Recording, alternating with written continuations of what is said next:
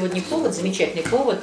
Вот эта новая книжка Ильи Франка, э, э, ну, вообще друга нашего дома. Я так в первую очередь, да, я назову, потому что мы уже э, не первый год встречаемся, и у нас уже были встречи.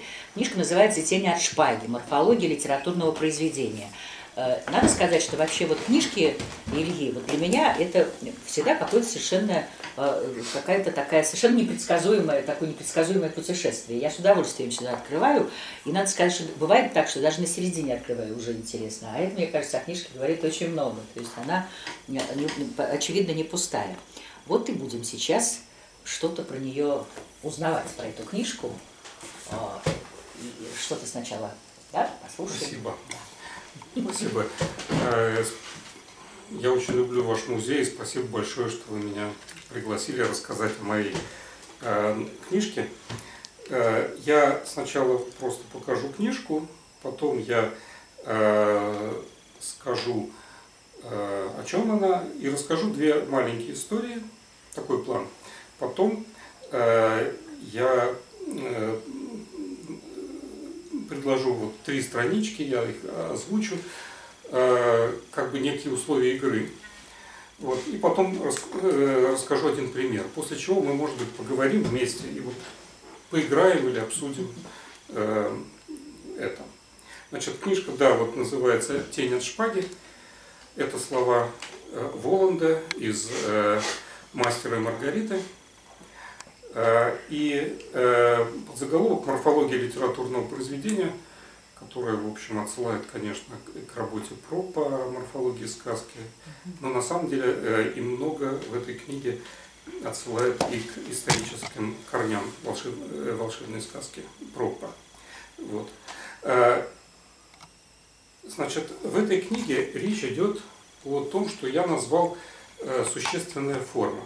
Вот если мы берем какое-либо литературное произведение или э, какой-либо фильм, то э, вот есть ли во всех литературных произведениях и во, или во всех фильмах э, вот что-то, что есть обязательно в каждом из них, вот что-то, э, какая-то основа, э, которая обязательно. Ну, например, если мы возьмем э, какой-нибудь боевик или триллер, вот, то, ну, видимо, есть какой-то герой главный, вот, есть, видимо, какой-то негодяй, вот, с которым он борется, и есть, наверное, то, за что он борется, вот, э, либо э, то, за что он мстит э, злодею. Вот. Но есть э, другие жанры, где нет такой раскладки, и, может быть, вообще нет злодея, э, и, э, может быть, там вообще э, произведение, где вообще только один человек. Вот.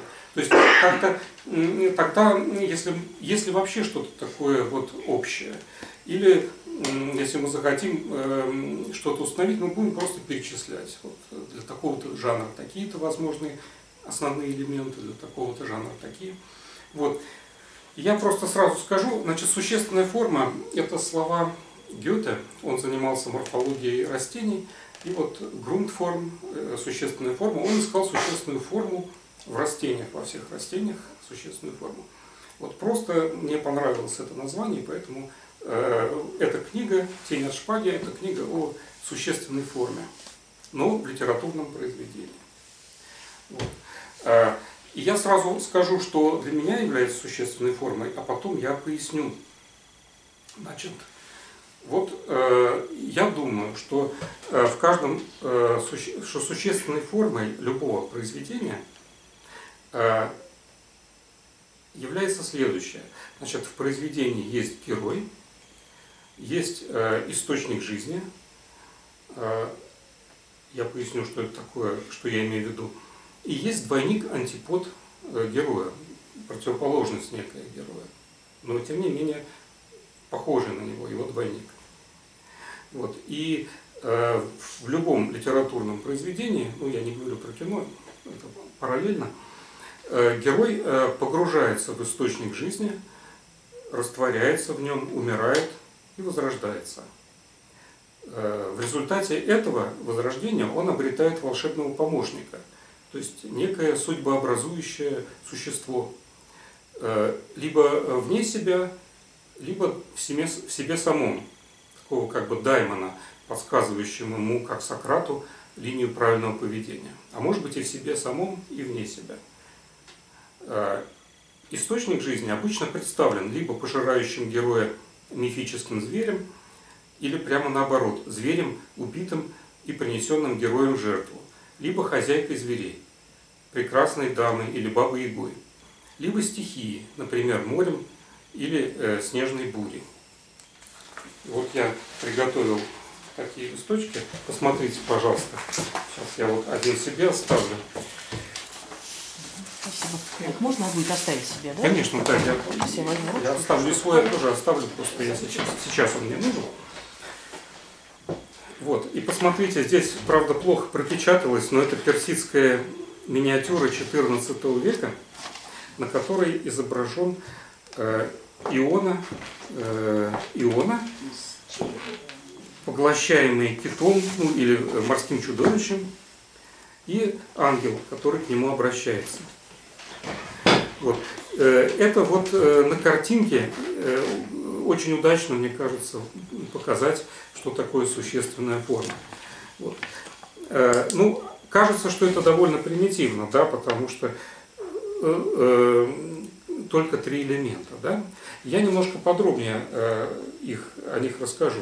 Ну вот посмотрите еще раз, значит, герой, э, источник жизни, который может быть либо поглощающим зверем, либо, как ни странно, вот прекрасной дамой, вот такой амбивалентной, то есть и бабой Игой тоже, э, либо нек- некой стихией, тоже поглощающей э, героя. И после того, как он пройдет через смерть, э, он встречается своим помощником, который является, в общем-то, им же. Вот. И он сливается, что дает ему этот помощник? Э, пройдя через смерть, человек сливается с миром в целом. Э, то есть он уже не единичная личность, а вот он часть мира, и он все чувствует, все видит. И тут еще интересный момент, о котором я здесь не сказал, но интересный просто признак – Э, после того, как э, человек проходит через э, источник жизни и встречается с двойником антиподом, он часто видит устремленные на себя, устремленные на себя множество глаз. То есть такое какое-то странное многоглазие вот он видит. И примеры я эти покажу. Это почему происходит? Потому что после того, как он пройдет через это, Э, мир э, представляется, предстает ему как живое существо, э, многогранное, в котором он отражается и которое на него смотрит.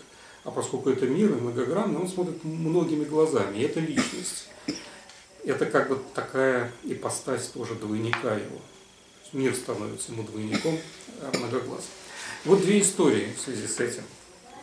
Это можно принять как условие некой игры такой и посмотреть под этим э, ракурсом, что это дает, насколько это э, интересно ли это к каким-то произведениям или неинтересно.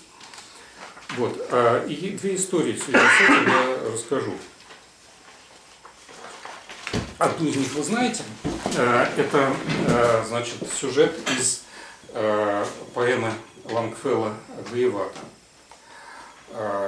Значит, Гаевата выплывает на своей пироге. С ним сидит белочка, которую зовут Аджидома. Ну, видимо, это и есть э, назва, э, слово, означающее на индейском языке белочка, белка. Вот. И э, выплывает на пироге и вызывает на бой э, великого осетра э, Мишинаму. Видимо, Мишинаму и есть на индейском языке великий осетр. Великий осетр – Э, поднимается с, со дна, вот, он в боевой окраске, как индейцы его воспринимают, и проглатывает нахала просто вместе с пирогой. Вот. Э, э, великий осетр – это царь рыб, значит, по, по Лангфеллу. Гайвата не теряется внутри осетра, он разворачивает пирогу, ставит ее так, чтобы не провалиться дальше э, э, внутри. и видит, э, как работает сердце осетра, он его сжимает, вот, и осетр умирает. Но все это происходит в воде и внутри э, царя рыб. И дальше, значит, нужно выбираться как-то. Вот. Ну, э, осетра, конечно, э, прибивает к берегу, все равно трудно. И э, начинают э, Гаевата и Белочка работать и, значит, э, корябать там изнутри как-то и э, разрывать этого осетра. Все равно очень тяжело. Вот. Э, Белочка помогает во всем. Но и снаружи прилетают чайки. Вот, чайки. И они тоже со своей стороны начинают помогать, э, долбить этого осетра, значит, клювами. Э, и когда они его пробивают, э, Гаеват видит множество сверкающих глаз, вот этих чаек, например. Вот. Это одна история.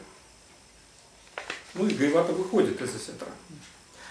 В другом там моменте, в другом месте э, индеец прыгает в дерево, выходит молодым и э, сильным из него. Это вот э, такой сказочный, скажем, сюжет, мифический. Вот. Другая история, а, вторая, уже более реальная, как бы, а, вот а, а, молодой человек, 20 лет, идет по улице, большого города осенью. И вдруг он э, видит, э, как на обычную вот картину того, что видит человек, который идет по улице видит встречных и дома, и транспорт и так далее, э, накладывается как бы другая картинка. То есть он вдруг видит берег моря, как будто это вот пленка какая-то, которая за этой картинкой обычной, э, или на, по ней сверху положен, это не очень понятно. Но вот он видит берег моря, но при этом он видит, конечно, и улицу. Вот.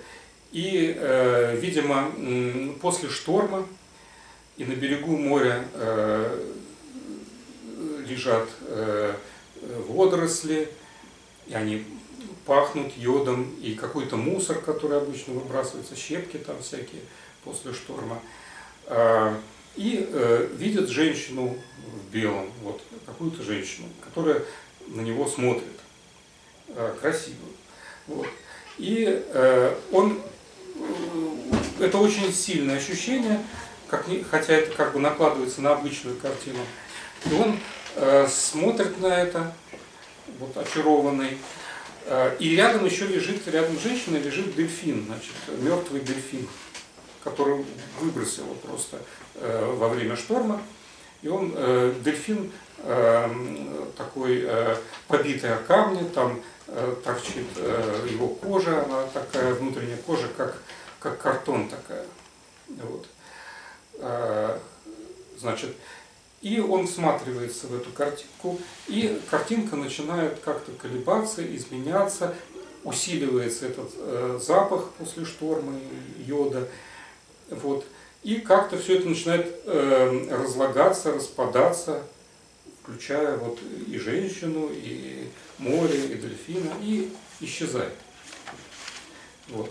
И через э, несколько дней после этого такого дневного сновидения а, этот э, молодой человек э, видит э, еще одно такое как бы, как бы сновидение, или это скорее такое ощущение.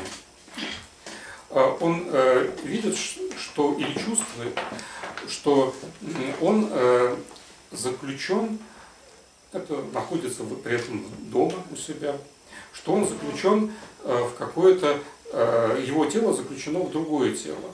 Вот, и которое несколько больше, чем его тело. Оно темное, прозрачное, э, очень сильное, без головы и э, имеет в себе множество глаз.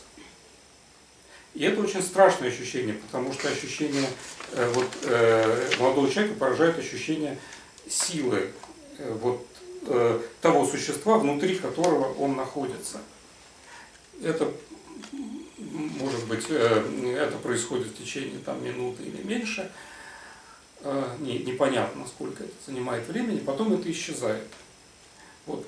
И в результате вот этих двух историй, это одной истории из двух частей, как бы, а молодой человек на несколько дней получает странное, странную способность вот когда он читает книгу, которую он раньше не читал, он знает, что будет на следующей странице, и не потому, что он прозорливый, а просто ну, как-то знает.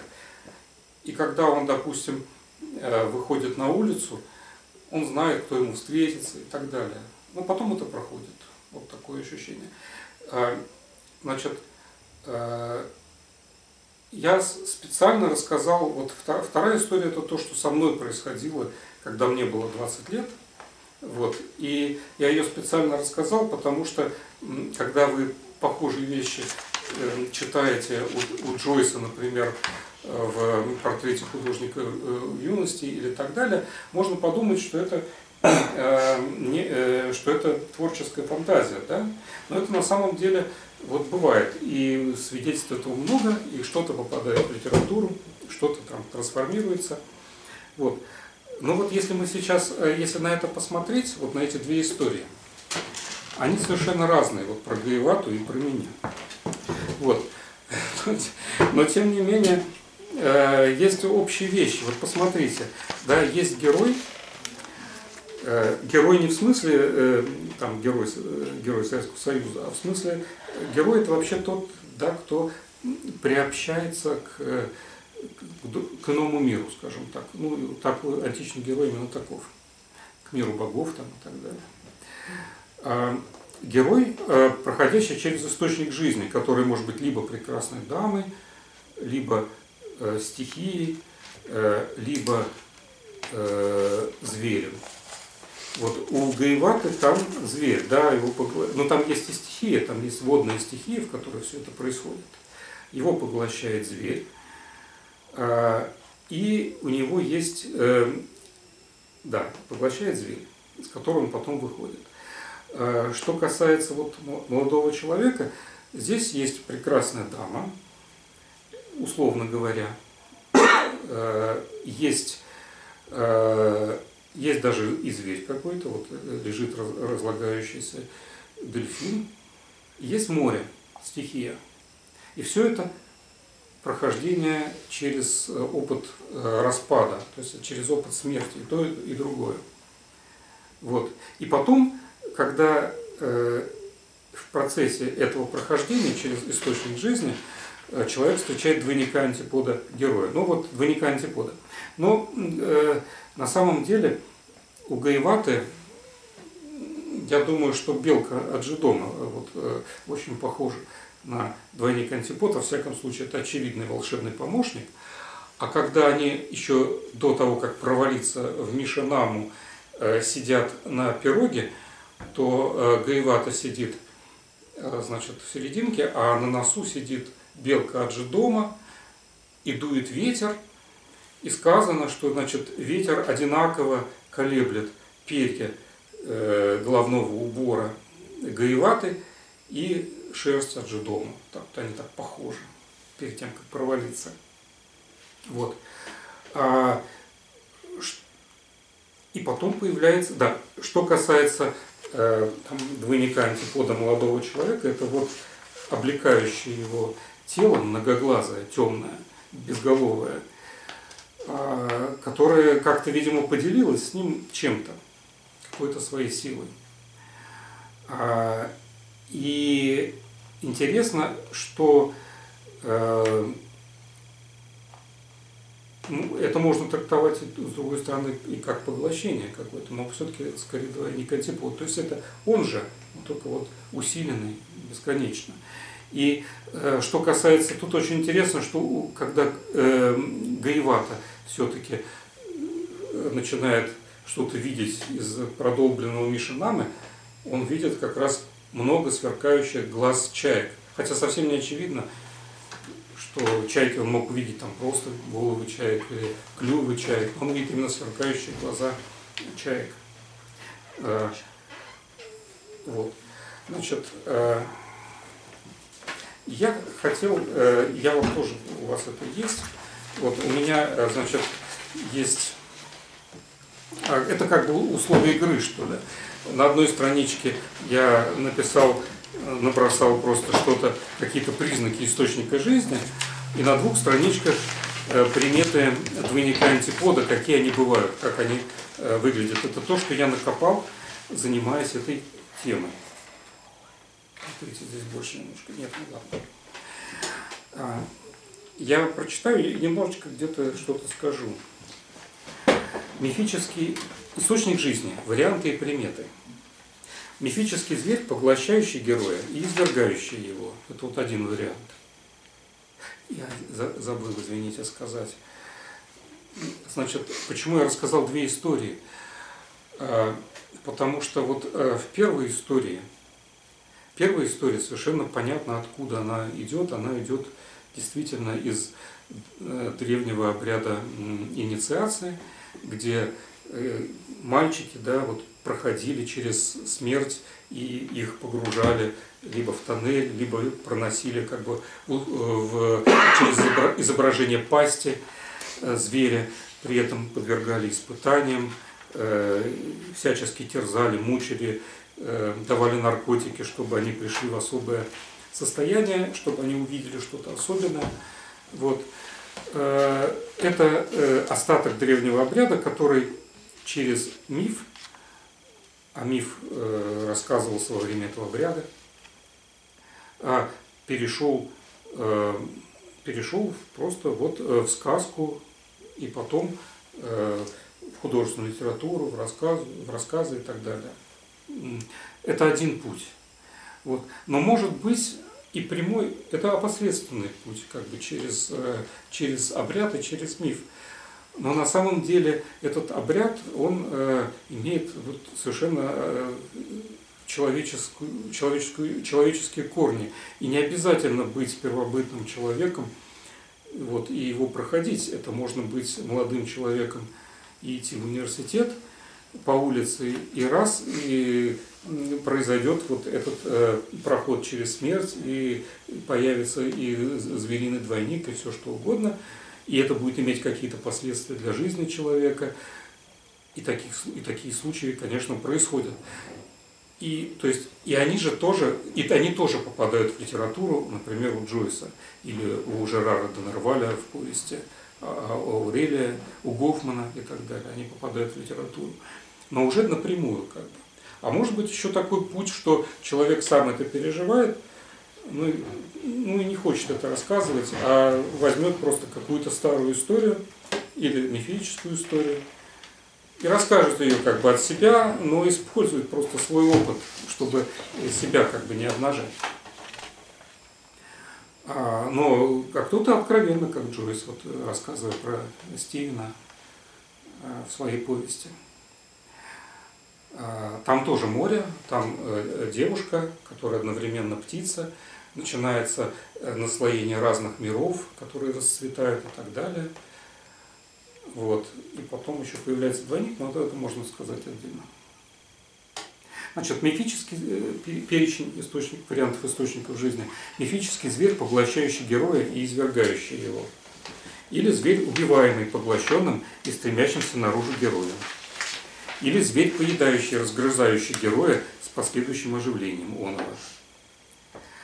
А, замкнутое пространство, следующий вариант. Я буду выборочно читать.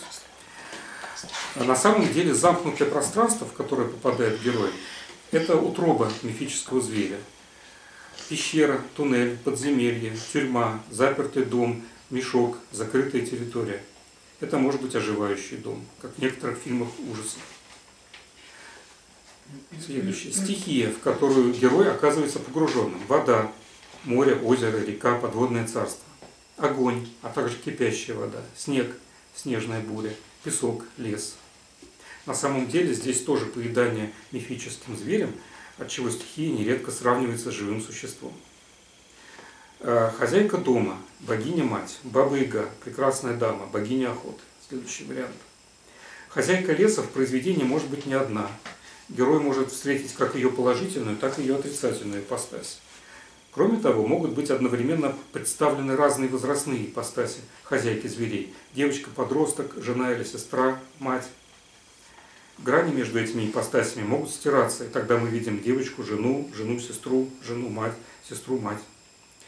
Вот, э, например, в фильме «Зеркало» Тарковского э, там и мать, и э, жена похожи, играет Терехова, да, одна актриса. Герой входит в хозяйку зверей, чтобы затем из нее родиться.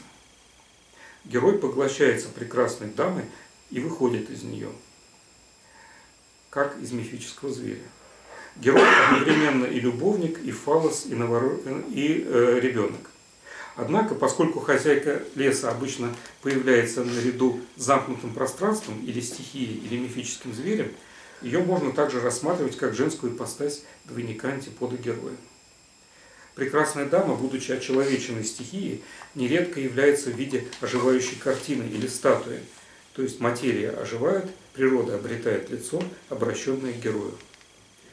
По той же причине прекрасная дама может предстать как утопленница или русалка, ожившая лицо неживой стихии.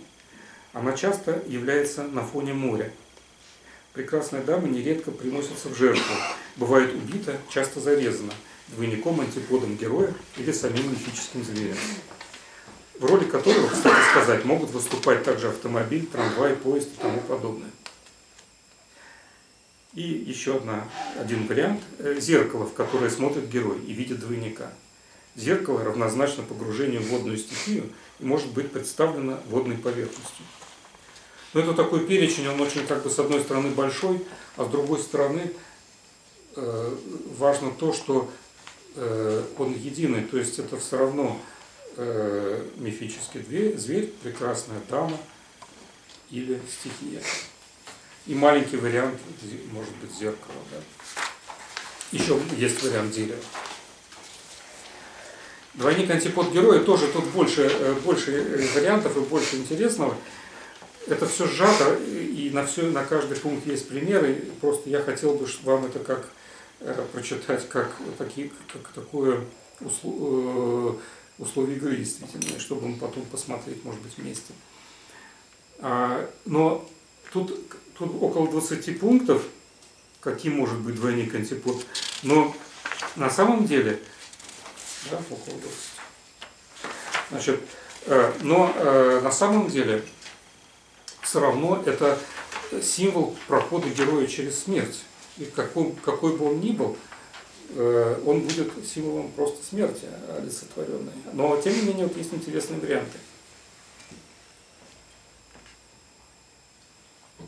Двойник-антипод – персонаж, оказывающий по своей воле или невольно решающий воздействие на судьбу героя. Это принципиальная характеристика. Он судьбообразующий.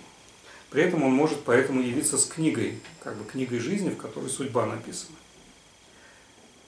я чтобы э, как-то это отделять, ну это все условно, я буду пункт тоже называть. Второе. Герой видит своего буквального двойника, наяву или в воображении. Довольно, кстати, часто. Э, это бывает, это есть у Достоевского, например, в «Подростке», это очень часто у э, Гофмана. И писатели часто видят двойников.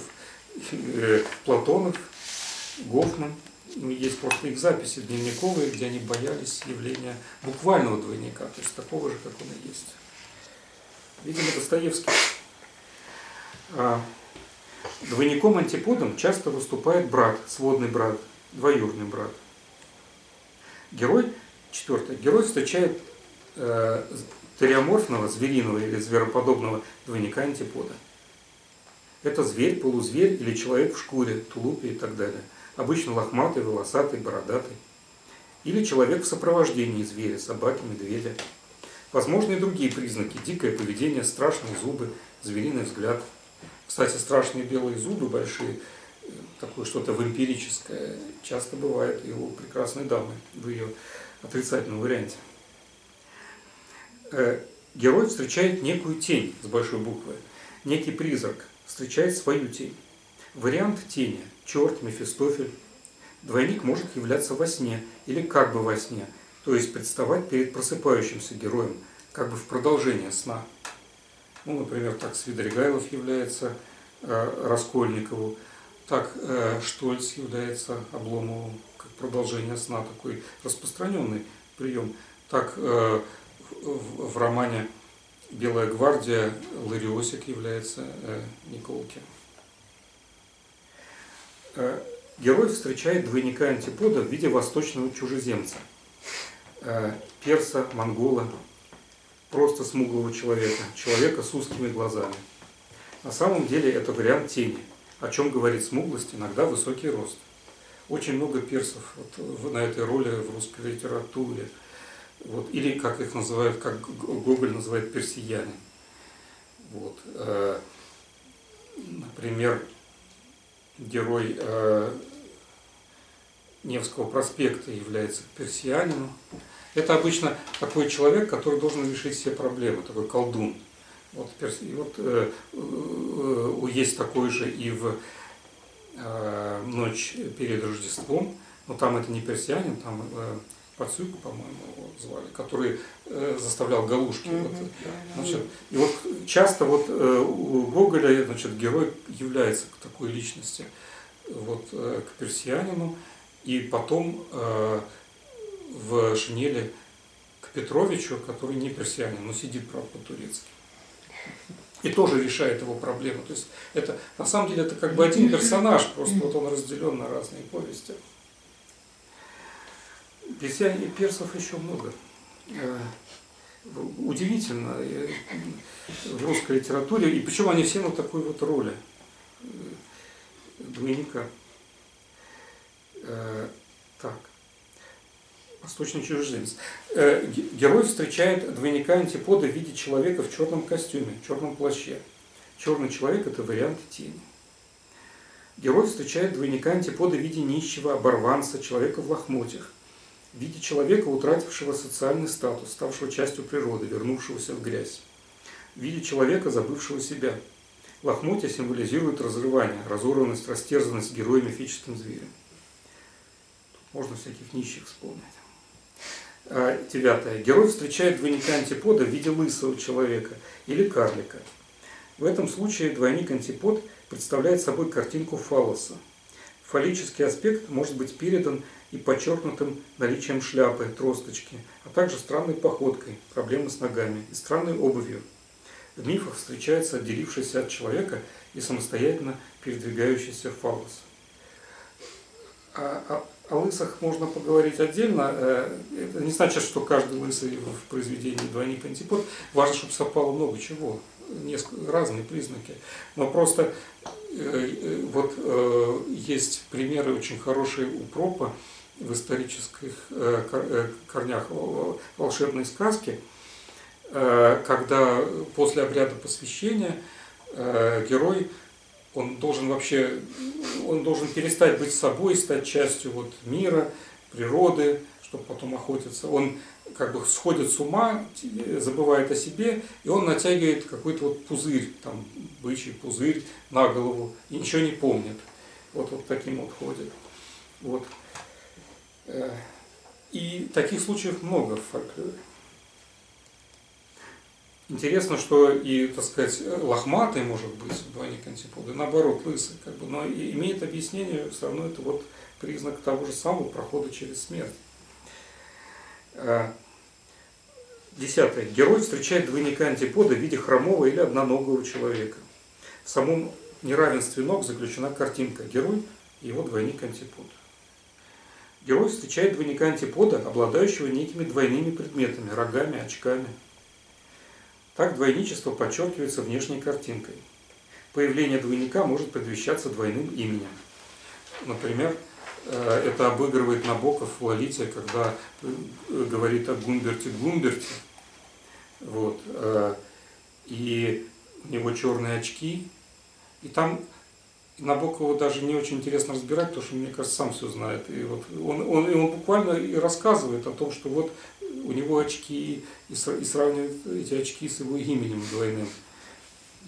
И потом эти очки лежат отдельно на пляже, черные очки, уже непонятно, чьи, не Гумберта. Вот, когда Гумберт был э, молод, э, еще мальчиком. Вот. И э, к этим черным очкам он пытается овладеть девочкой в этот момент, и к этим и выходят два одинаковых там купальщика, как бы два человека. В черных каких-то костюмах. Реально. Да, то есть это э, Набоков и вовсю играет, оч- очками вовсю играет. Да. А двойные имена очень интересные. Акакий Акакевич, например, который приходит в Петрове. А, Значит, двойник может обладать э, двойным именем. И герой, который встречается с двойником, тоже может обладать двойным именем. Двойное имя может быть Кинг-Конг, например. Это имя э, двойника. Тогда вопрос, кто герой там. Да, с, с Гумбертом тоже, кто же там герой тогда, если он сам двойник? Нет, нет, Гумберт, э, Гумберт, Гумберт герой, Да. а двойник Макфатум, э, вот, который, которому он заказывает там устройство своей судьбы, которого он потом убивает. Вот. Может быть герой, э, который встречается с двойником, у него двойное имя, а может быть у двойника двойное имя. Вот. И, э, например, э, у Кинг-Конга там, там я специально посмотрел, кто двойник, я просто фильм еще раз посмотрел сейчас. Вот. Там помощник капитана Джек, который плывет вот на остров, где Кинг-Конг, и там девушка плывет, и он по отношению к этой девушке на корабле выступает как чудовище и красавица. Их так и дразнит, потому что он сурово с ним идет, и там вступает, там у него обезьянка где-то рядом, и вот это обыгрывается, что именно он чудовище, а на самом деле он герой, а, двой- а чудовище Кинг-Конг. Чичиков тоже довольно двойническое имя. Чичиков. Вот. Значит, 12. А Двойник антипод подает герою знак глазами. Он подмигивает герою. Или имеет разные разноцветные глаза. Или он одноглаз. Глаза, как и очки, парный предмет, удобный для подчеркивания двойничества. Одноногость это, э, это именно двойник, но антипод. Вот. И тоже вот э, одноглазость. Двойник антипод слеп или глух или нем, это 13 Поскольку он, как и хозяйка зверей, не совсем человек, но олицетворение природы и судьбы, жизни в целом. Он оживший камень. Иногда это человек без лица. Ну, фильмах, например, да, в фильме «Земляничная поляна», например. Двойник антипод, 14. Двойник антипод подает герою знак головой. Он кивает герою. Этот жест свойствен и прекрасной даме. Двойник антипод, это интересно, да, кивает у Пушкина много кто кивает. И дамы кивают, и пиковая дама кивает с, с, э, с карты, и э, э, Каменный. каменный гвоздь кивает, и медные всадники, ну это известно, да, кивает. И даже кивает Пугачев сразу перед смертью, потом, как бы мертв... будучи уже почти мертвецом, он успевает кивнуть герою. Потом уже ему отрубают голову. Это я продолжаю. 14. Двойник антипод часто либо лишается головы, либо повреждает голову. Ему отрубают голову, он оказывается смертельно поражен или ранен в голову, имеет шрам на лице. Вот, например, э, если вы, э, если вы помните э, Дюма, «Три мушкетера», там у Д'Артаньяна есть двойник антипод, он, кстати, в черном плаще все время, Дерошфор, и он все время как бы его ведет по судьбе, вот невольно. Влияет с самого начала, с первой же встречи. И Д'Артаньян за ним все время гоняется, и трижды потом в других уже произведениях с ним дерется, потом он его в конце концов даже убивает. В какой-то момент он чуть ли с ним не дружит с, с Дерошфором. Но у него еще и шрам помимо черного плаща на лице. Двойник антипод может предстать перед героем в виде одного лишь туловища, либо одной лишь головы. Вот с одной головой интересно, э, помимо Руслана и Людмилы, э, есть э, голова Мимера, значит, который, встреча- который является таким советником Одина э, в старшей Эдде. Вот. А еще интересно, я вот э, пос- посмотрел кусочек фильма сейчас как раз э, Белое солнце пустыни, Белое солнце пустыни. И там герой как раз встречает, да, в самом начале, торчащую из песка, из стихии, можно сказать, голову Саид. Это Саид. Вот. Откапывает его, да. И потом этот Саид ненавязчиво ему помогает. И не раз. Таким становится, как помощник такой. И это заодно и восточный такой двойник. И лысый. Заодно. То есть, ну, как бы накладывается несколько. Интересно, когда накладывается, а когда ничего не накладывается. И главное, что влияет на судьбу, помогает. Или мешает. Ну, как-то влияет. Может быть, невольно помогает. 15. А, Двойник антипод часто погибает, символизируя тем самым проход героя через смерть, через источник жизни, который вместе с тем является и источником смерти. 16. Двойник антипод может быть в виде мертвеца. Нередко это утопленник, то есть некто, явившийся герой из водной стихии, как ее представитель. Ну, вот у Пушкина там мертвец стучится, да? А потом еще и буря стучится у него в дверь, в окошко. 17. Двойник антипод сжимает героя. Вот я то, что рассказывал, во-первых, какое-то сжатие обычно происходит. Ну, э, когда э, Гайвата проваливается в Мишанаму, там он сжимает сердце. Вот то, что я э, рассказывал вот о молодом человеке, скажем так, там тоже было вот это сжатие какой-то силой.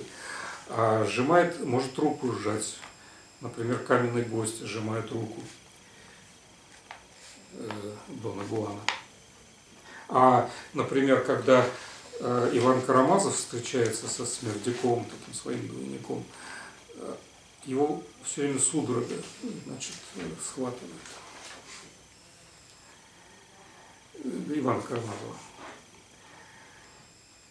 18. Двойник антипод. А, извините, пожалуйста, а кого вы рассматриваете как его двойника антипода? Ивана Карамазова, да. э, Смердяков и черт.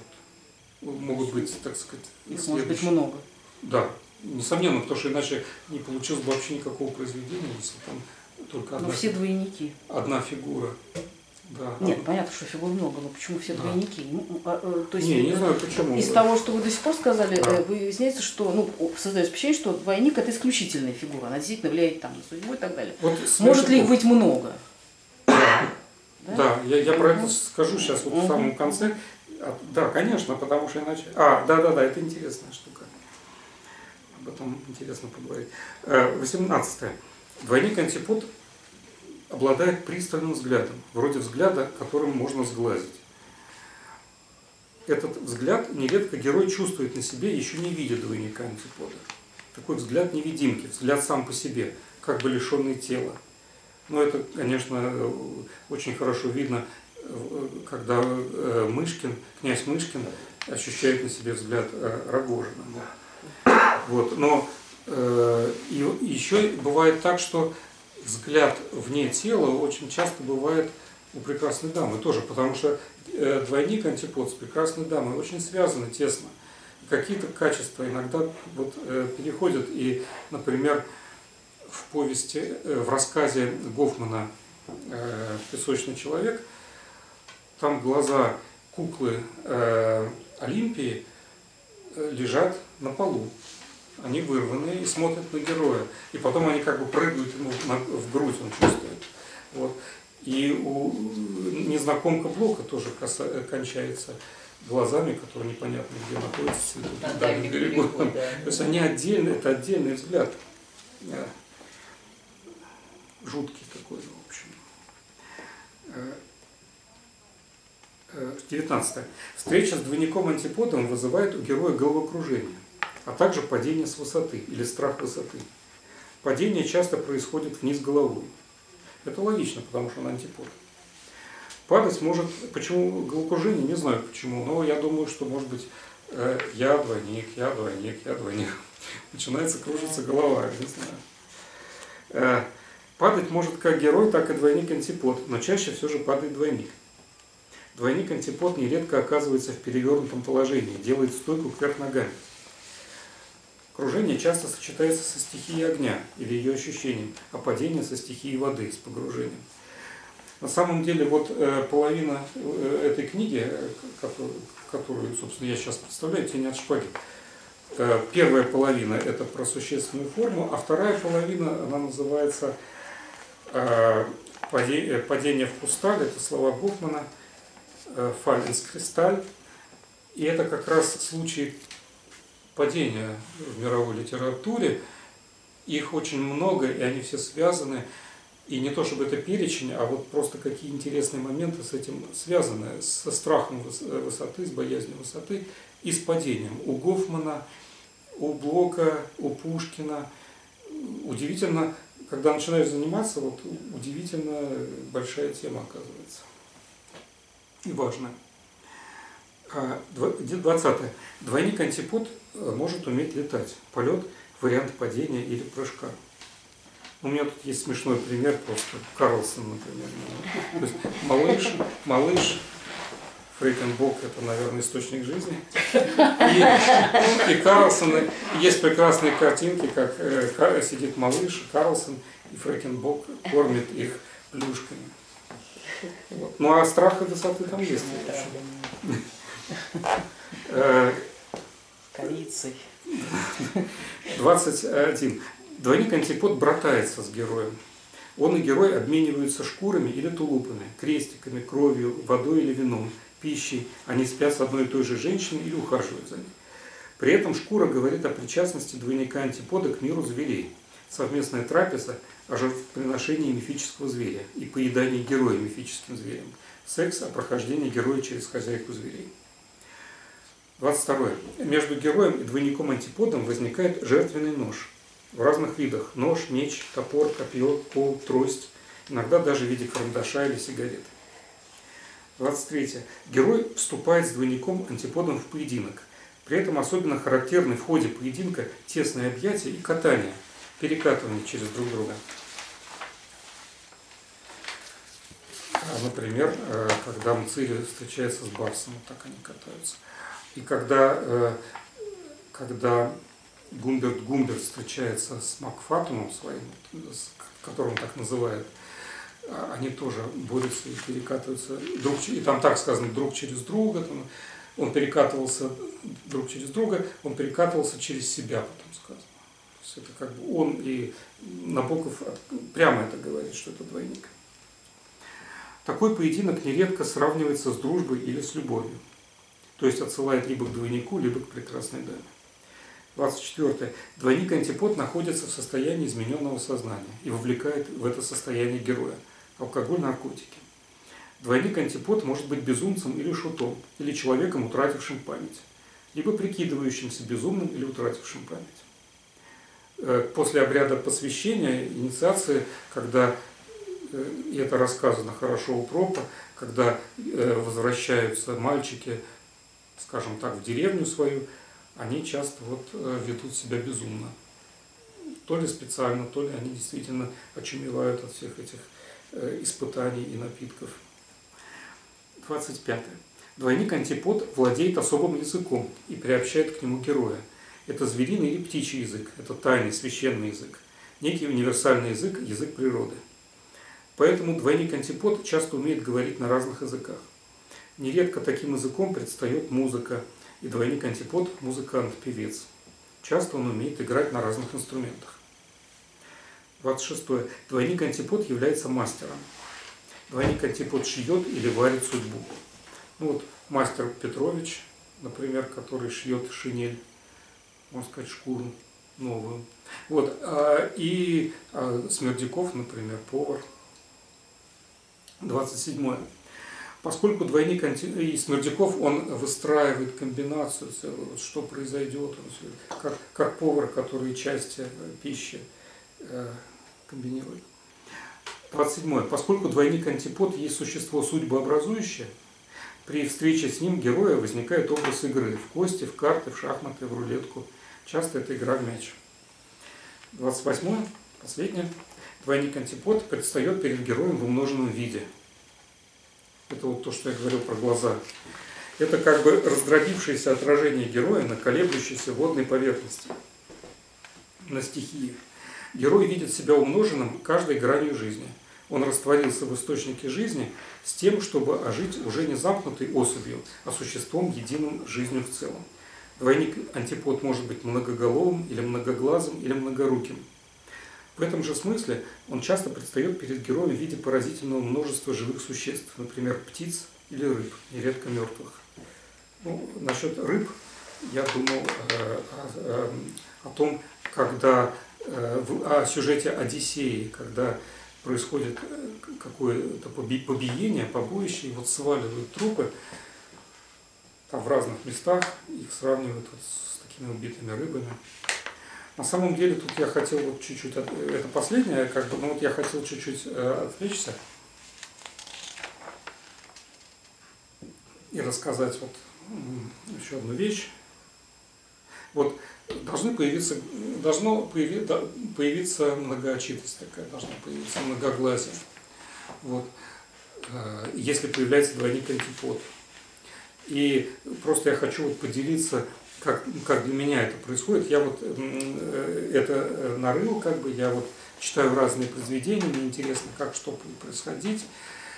И, например, я читаю Э, роман Стринберга, Августа Стринберга «На шхерах». Вот. Стринберг человек был полубезумный, иногда совсем безумный. Вот очень интересно у него в этом смысле роман или книга «Инферно».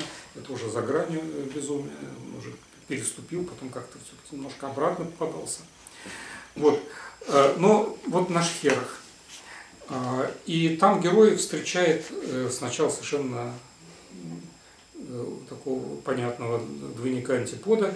Это такой, он приезжает на остров один, э, и там выходит из тумана проповедник, у которого левое плечо э, ниже правого, то есть он не симметричный, часто двойник антипод и так далее. Но это ладно. Вот. А потом, значит, под, под конец он э, совершает выезд в море, и потом я думаю, ну где же я как бы вот просто когда это знаешь, начинаешь ожидать. Вот, в каком виде это будет. Знаешь, что будет, но интересно, в каком виде, как писатель мотивирует, ну, например, появление многих глаз. Вот.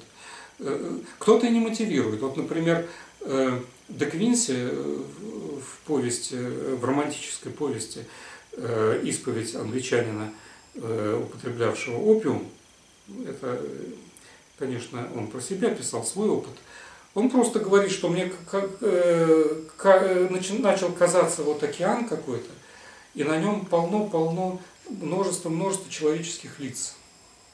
Вот. Вот просто у меня такое видение. Ну, это в связи с опиумом, конечно, все.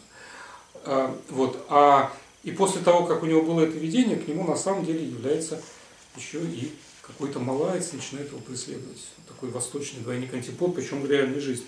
Но это, это вот просто сказал видение и все как бы. А что делает вот писатель, который э, владеет реалистическим, скажем так, методом, в общем, как-то не, не отвлекается на мифы. Вот, как Стринберг, например, в данном, в данном произведении, во всяком случае.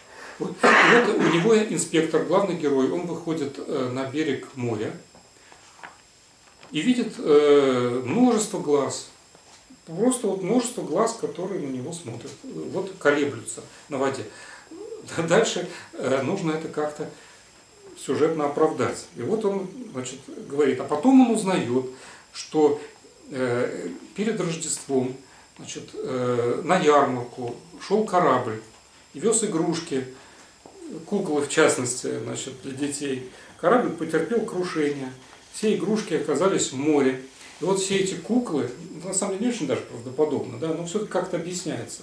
Вот эти куклы, их, значит, прибило, и вот они колеблются, у них там глаза открываются, закрываются, подмигивают, вот эти вот куклы. И вот он видит вот э, множество этих глаз. То есть объяснение реалистическое этому есть. Но на самом деле это вот э, такая существенная форма. И у меня еще вот э, три общие замечания есть помимо этого как раз вот то, что вы спрашивали. Вот помимо, вот это интересно, помимо основной существенной формы в произведении возникают перпендикулярные к линии сюжета как бы миражи, проекции этой самой формы, пустые двойки или пустые двойники, как я их назвал, и пустые тройки. А, значит, есть э, герой и есть двойник, антипод.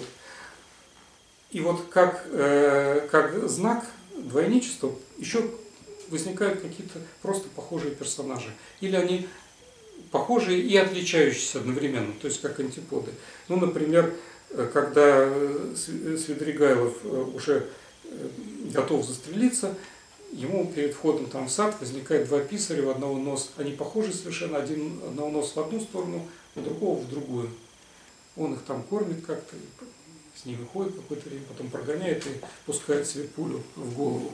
Вот, значит, э, два мужика, которых встречаем, когда Чичиков въезжает да, в город, в самом начале, два русских мужика, да, у них двойничество такое, э, доедет, не доедет. Это тоже проявляется в речи, как бы. Вот. Э, таких очень много. Ну, например, помощники... Добчинские, Бобчинские. Добчинские, Бобчинские, конечно. Потому что Христ, Христаков, ревизор, который появляется в конце и решает все, это вот двойник, как бы типа, а это Губчинский, Дубчинский. Таких помощники землемера у Кавки в замке. В общем, это как бы избитый даже прием, очень интересный, но очень частый. Вот. А и пустые тройки, которые, как вот есть существенная форма, и там есть, с одной стороны, двоичность, то есть э, герой и двойник, а есть троичность самой этой формы с источником жизни. Как э, богини судьбы, да, вот три Мойры, три Норны, э, вот, три ведьмы. И очень интересно, три мушкетера, вот такие вот пустые как бы тройки, которые возникают в произведении, в фильмах интересно, тройные герои. Вот. Второе, вот это как раз важно. Персонажи может быть сколько угодно, естественно, они, конечно, а, ну то есть вопрос в том, что герой-двойник источник жизни, а остальные просто так или не просто так, да? Значит, э, но их расстановка, вот это мое мнение, как бы, которое я могу только э, э, с каким-то знаком вопроса утверждать пока. Персонажи может быть сколько угодно, но их расстановка на шахматной доске произведения происходит согласно существенной форме. То есть э, ставится как бы герой, который представляет автора, ну так или иначе его представляет. Мне кажется, что, например, в «Братьях Карамазовых» это Иван Карамазов. Вот.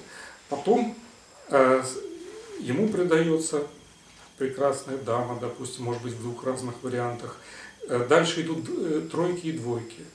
Там, может быть, братья, может быть, каждому из братьев дается дама там свои двойки возникают.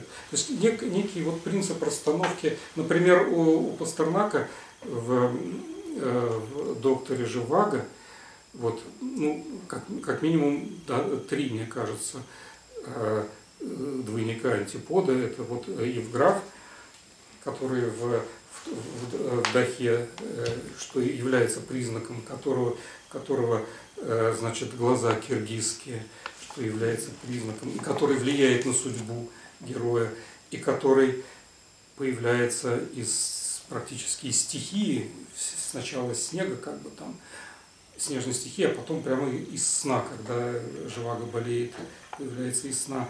Вот. Например. Но и Стрельников тоже. Я, вот, и я, вот, я бы назвала в первую очередь Стрельникова, мне кажется. И Комаровский. Ну, Комаровский. Да, да, с собакой своей вообще. И Стрельников, да, потому что там тоже интересно, там, ну, да, вы же лучше меня знаете, там попадает Живаго в квартиру, да, где там все, все время вот эта вот электричка, он, он погибает и стреляет в голову, и когда он падает, э, там катышки крови, похожие на ягоды рябины, да, вот, э, а с рябиной связан Живаго, то есть он молился рябине. Да, рябина его спасла. Спасла, а Стрельникова вот не пожалела и погубила. Э, вот, мне кажется, вот так. И, и как-то это все расставляется, мне кажется, вот при помощи этого. Но я не могу сказать, это как бы то, чем я еще вот э, мало занимался, это как предположение вот такое вот может быть. И последнее, я хочу просто сказать, что э, для того, чтобы мы могли сказать, что двойник антипод, недостаточно, чтобы у него была шуба или лохматость, а важно, чтобы он влиял на судьбу и сходилось, сходился целый ряд э, признаков. Вот. Но я хотел... Э, а, я хотел, я посмотрел просто э, пару фильмов, тем, как сюда вот прийти, чтобы как-то можно было об этом поговорить. Я хотел просто рассказать, вот, э, как это действует на, примере, на одном небольшом примере. Вот я пересмотрел просто на днях э, «Зеркало» Тарковского. Ну и вообще фильм, конечно, очень э, символический, зеркало и все такое. Но я даже об этом и не, стал бы сейчас говорить. А э, сказал бы только о самом, почти самом начале, когда героиня сидит на заборе, вот, и э, ждет, придет ли отец, то есть муж ее, да, придет ли или не придет. И а, она видит, значит, она смотрит, в, вы помните, я ну, на всякий случай скажу, э, она смотрит в поле, в поле, да, Солоницын играет. Значит, э, там стоит куст посреди поля, большой куст, и вот из этого как бы куста должен выйти человек, он либо пойдет он в другую деревню, да. либо он пойдет э, к Тереховой, да, вот. И если он пойдет в другую деревню. Если он пойдет сюда, то это отец, и больше некому. А если он пойдет в другую деревню, то это не отец, и значит отец больше никогда не придет. И вместо отца, то есть, ну, как бы все понятно. Но вместо отца приходит какой-то вот странный, значит, человек, другой, и идет сюда. И он ошибся просто. Он ошибся. Он идет сюда, э, и, э, значит, дальше они разговаривают, как вы помните. А, он садил, у него вояж кожаный. Или нет? Ну, саквояж называют. называют да. Значит, он так называет, или я посмотрел в, в сценарии. Значит, а, и там какие-то инструменты, но ну, он не открывается, этот саквояж. А, садится рядом с ней, ломается это вот перекладина, они падают. Вот, она э, вскакивает, женщина, а вот Солоницын, он лежит, вот, и вроде не спешит вставать, и начинает, э, значит, говорить, лежит он, да, начинает говорить, знаете, тут как бы, я точно не помню, вот как тут интересно, э, тут всякие корни, травы, а вы думали ли о том, что э, деревья там вообще могут говорить и даже постигать растения. То есть он, вот, а, он лежит, я просто хочу сказать, что, по-моему, это такой вот типичный двойник антипод, э, который играет Солонис. Во-первых, он заменяет отца, он вместо него приходит, он на его роли как бы. Потом он несет саквояж э, кожаный, вот. И, между прочим, я об этом не сказал, но это еще один из признаков. Вообще говоря, вот есть, может быть, странное сближение покажется, но вот черт часто бывает с мешком. И в мешке он носит души, которые он собрал грешные. Вот. Но не обязательно. Это может быть Чичиков со шкатулкой, куда он складывает э, списки крестьян, например. То есть чемодан э, вот какой-то, в который часто попадает человек – или там какие-то головы, или бывает корзинку какую-то несет, а тут достает головы. Таких сюжетов много в сказках. Это детские сказки, например, Карлик Нос, да, это, там вместо кочанов достает головы. Там. То есть вот это как бы что такое, я, так назвал, это как портативная утроба такая, вот утроба мифического зверя, а это вот герой э, портативный тоже несет э, как бы ее с собой, что ли. Частый признак двойника такого. Потом, когда он падает, он лежит э, в кадре э, вот так. Значит, тут ноги у него еще за э, перекладину. Вот он лежит э, как бы, ну, почти вниз головой. Вот, и лежит он головой в травы. И вот это пади, вообще падение, особенно вниз головой. И Э, так, такая позиция вниз головой, это похоже на двойника. И он начинает рассуждать о мире, который его окружает, и он говорит, что этот мир живой, и он что-то постигает. То есть это речь такая двойническая совершенно. Вот именно антипода. В такой же позиции, я тоже посмотрел, недавно пересмотрел, сталкер лежит. Вот э, точно, точно такая же, тоже, тоже такая диагональ, головой вниз – Э, ну, режиссер один, значит, э, э, головой почти в воду, вот, значит, в воде там всякая всячина интересная, там связанная как бы с, с жизнью людей, а с другой стороны черная собака еще подходит к тому же. собака, такой звериный двойник. Надо сказать, что и потом в зеркале, там в другом сне, мальчик открывает дверь, видит мать и выходит собака с другой стороны. Это, ну, это чуть дальше. Потом, значит, Солоницын, назовем это так, уходит. Вот. Когда он уходит, он оборачивается, он к кусту там приближается, он оборачивается, смотрит на вот Терехову, и вот тут в фильме в первый раз идет э, э, живая стихия, то есть э, вот это вот знаменитое э, ветер, ветер волна ветра на героиню идет от него. Не, непонятно, почему вдруг вот прямо от него вот она движется, и потом это много раз в фильме да, проходит. Живая стихия, это здесь не вода, но это вот как и не лес, но это вот трава, и вот э, растения, это тоже стихия. Вот, от двойника. И причем интересно еще тут двойнический такой момент, он выходит из, э, из-за куста. И вот с кустом вообще интересно, потому что куст часто бывает двойником. Как ни странно. Например, это э, в фильме это потом обыгрывается сознательно, потому что потом горящий куст. Потом, э, значит, возникает, э, ну, так и называется он горящий куст там в фильме. Вот. А на самом деле, вот, например, куст, например, в, песочном человеке Гофмана там главный герой оказывается на башне с невестой, а, Натанаэль его зовут. Вот. И он видит вдруг движущийся куст. Вот такая странная вещь там. Он берет трубку, хочет посмотреть на этот куст, случайно видит невесту, хочет ее, сходит как бы с ума, хочет ее сбросить оттуда. Потом про куст уже не говорится, а говорится, что там скопола, как бы его двойник стоит. Э, а, и Натаниэль бросается вниз разбивает голову. Это одно из падений таких. Ему кажется, что все кружится, куколка, куколка, э, огненные круги, и он прыгает. А Коппола, итальянец, э, его двойник, смотрит, и когда люди говорят, надо, надо его спасти, оттуда взять, он говорит, ну, сейчас он сам сюда придет. И он прыгает вниз головой, разбивается. Вот, а, ну да, с Копполой я, я об этом уже говорил. Э, Коппола ему приносил продавец барометров. Он к нему пришел и принес ему очки значит, для продажи. И он выложил много-много очков, стал выкладывать. И Натанаилю показалось, что это все глаза блестящие, страшные на него смотрят. Вот. Э, он ужаснулся. Ну, тогда Коппола э, взял и дал ему эм, подзорную трубку.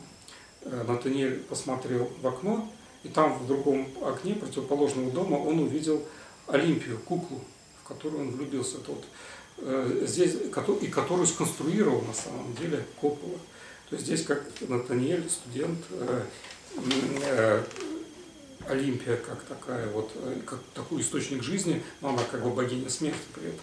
И Коппола, значит, двойник убийцы, двойник антипод, который может быть играть положительную роль, может отрицательную. Но интересно, что вот опять эти глаза, опять эта множественность. И потом последний вот момент э, в зеркале я хотел сказать.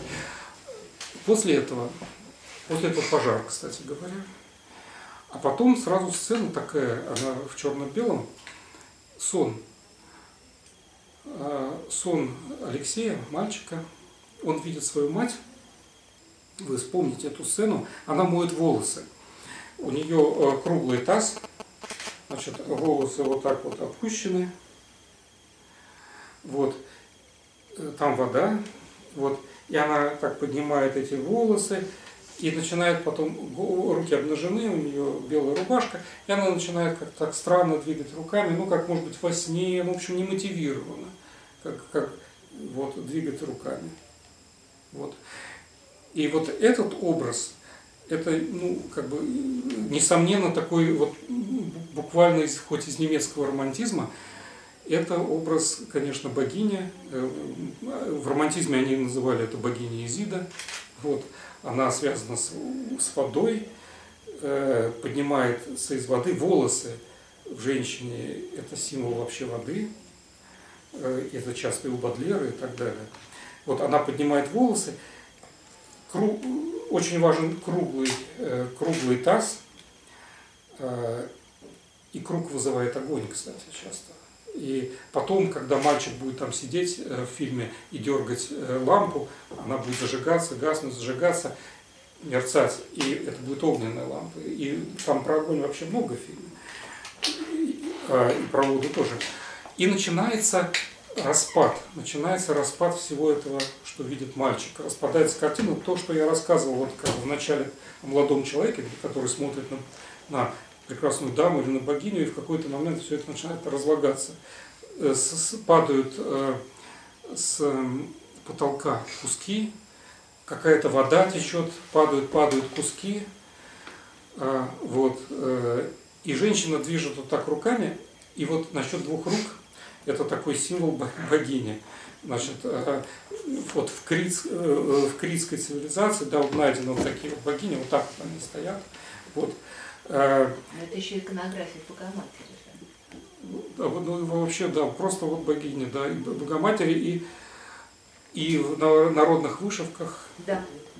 И часто к этим рукам есть еще и звери, или птицы, или просто руки. Но я просто хочу сказать, что и вот э, двое э, зверей, два, два зверя вокруг богини, это для меня это некая тоже существенная форма. То есть вот источник жизни и двойники вокруг, э, древняя такая. И которая начинается еще с неолита, вот этой знаменитой статуэтки в Чатал-Хьююке, там, какого она, седьмого тысячелетия до нашей эры, где сидит значит, дама с двумя леопардами, да, по-моему, вот. А, и сами руки вот эти вот, а, они символизируют двух зверей. То есть э, иногда бывают звери, иногда не бывают, но вот руки, и, конечно, вы можете, да, и у Пастернака это руки Лары, да, вот руки богини. А, интересно, я подумал, что даже вот э, руки женщины, которая в конце, на которой в конце концов остановил свой выбор э, Обломов, они тоже как движущиеся обнаженные животные, только они показаны сзади. Это тоже интересно, что вот именно сзади. Вот. Но тем не менее, это, она тоже такая, как какая-то засасывающая богиня, она в принципе изображена. Вот. Э, вот я вот это хотел э, рассказать на самом деле. Вот. Может быть, вот я, может быть, предложу просто вот одно что-то для такого разговора. Вот я пересмотрел фильм еще э, «Бриллиантовая рука». Например. Вот это интересно. И что там? Вот. Вообще в комедиях очень много, конечно. Они все на двойниках построены. Это, в общем, идет еще с античности, с Плафта, но это не случайно. Вот. Но вот, например, там есть, вот, э, есть вот, ну, я, если называть именами актеров, то вот Никулин, Миронов, вот. И, например, там есть такая вещь, как э, асимметричность, например, вот у, у, в облике там героев. Я не знаю. А источник жизни тогда что же, кто же там, что я не сразу рубаюсь. Знаете, тоже может быть не один, но вот в самом начале, самый явный, это некто, некто, кто, э, например, может, э, кого герой встречает, попав куда-то, и который имеет общий язык с его двойником, то есть двойник антипод появляет, появляет. Только после он может появиться, правильно, да? Нет, нет, нет, нет. Или может по-разному. Может, да? может до источника жизни, может потом появиться. Но смотрите, вот э, если ну, я, почему можно поговорить, ну вот есть Никулин и есть Миронов. Никулин случайно оказывается э, на месте Миронова, то есть в роли его попадает, помните, да? да? Черт побери. Вот. Э, попадает. То есть, ну, похоже, что это двойник, который влияет на его судьбу и который его во что-то втягивает. Э, встречается там э, в этом городе условном, условной за границей такой. Они проходят мимо одной женщины, женщины, которая говорит, Цигель, цигель, алюлю. Это источник жизни, да? Несомненно, да. А стихи банановая кожура тогда? Нет, ну смотрите, а шутки шутками, но, э, между прочим, его эту речь Цигель, Цигель Алюлю Никулин не понимает. А Миронов Ему говорят, я тебе потом объясню. То есть Миронов, видимо, ну, это все понял, что это означает. Он этот язык священный. Да. А или потом, облика морали. Он язык туристов, необычный, ты знаешь. Там еще двойники есть, пустые двойники, они стоят около, потом угу. около двери, они как бы, они тоже... А потом два таксиста, в смысле, два лейтенанта милиции. Да, Помните, да? Да. А это тоже... Почти снимает этот с этой стороны, этот с этой. И играет один артист, да, и потом в конце они пожимают друг другу руку. Да, да. Это вот чисто пустые двойники, а это тоже там двойничество э, Э, ты зачем усы сбрил, дурик, да? да. Там это тоже есть, да. Ну, а вот э, интересно, э, интересно еще вот... Ну, там интересно то, что у двойника, в данном случае Миронова, как бы, да, если мы героем считаем Никулина, Миронов двойник, а у него есть тоже двойник, тот мальчик, который с флагом там через лужу. Пожалуйста, да. да да. Двойник двойника, а это как да. понимать? Ну, вот так. Наверное, так может быть. А, да. кто, а кто у нас Нет, этот а самый царь Кощей на да, золотом чахнет, он кто? Ну, тот, который скрытый там миллионер подпольный. Я говорю, Чьи кто, бриллианты? А, кто, ты... кто он по э, ролевой функции? Не, ну он, конечно, он такой главный двойник на самом деле, да. Вот он, он, он, же, он же судьбу, так сказать, строит их всех. Тогда это источник жизни. Я вот это Нет, думаю, я, может, я думаю, что, да? Нет, я думаю, что источник жизни там появляется вот эта проститутка, потом, может, почему нет? Источник жизни обязательно женщина должна быть? Нет, нет, там же есть да, варианты. Конечно, да. Или и стихия. Женщина, стихия. Не, ну, жена тоже некая... жизни. Нет, вот ну, я... жена, да, но жена не интересна, а потом появляется же другая там еще женщина. И... Ну, понятно. Не виноватая я. Да. Понятно. И, и даже... И двойник у нее Мордюкова. То есть, да. женщины сомнительного поведения, они там источник жизни. Да. В общем, это можно... Что там, что там, что народнее, что за границей. Ну, выходит часто, часто. Но это же понятно, ну, да? Понятно. Почему, да? Потому что это связано с эротикой. И, и та, и другая связана с эротикой. Там. Мурдюкова, Мурдюкова только не связана. Нет, она а там как-то связана. А Папанов она танцует, во сне, во сне. Танцует, потом оборачивается, оказывается, что это Мурдюкова. Мы ждем, что это светличное. Точно, точно, точно. Там двойничество да, да, тоже просто... Точно. Да, она там, да. Гарантирую. А вот, а вот это вот а, я просто этот фильм знаю наизусть, я его в детстве посмотрел а. раз 20 Вот я немножко подзабыл, я сейчас посмотрел. А, а несимметричность в облике, помните какую-нибудь там? Что? Несимметричность. Ну, во-первых, сломанная, в смысле, гипса, причем ну, фиктивные. Ну, да? Ус отклеился несимметрично. Ус отклеился. Потом костяная нога, потом ну, он падает, да, кстати. Да, да, он да, падает, да, это да. тоже важно. Серия вторая, костяная нога. Падает, костяная нога. Потом это, э, потом у этого шорты одна шорты предвещает как бы это как бы предвещает костяную ногу будущую, да. А еще есть Кутузов, этот, да. Миронов у него заклеен да. глаз, так сказать. Не перепутай Кутузов, да. И еще один раз там я посмотрел, он в какой-то момент поворачивается, у него одно ухо. Вот Это когда после разговора у этого самого, у него ухо вот такое, что ему оттрепали. Вот шеф, шеф, после шефа. Оттрепали. И он так стоит там, ну, интересно бывает. Вот э, просто можно так смотреть. Мне кажется, это как-то работает и что-то даже говорит. А вот как раз хотел такой... спросить, а что это говорит?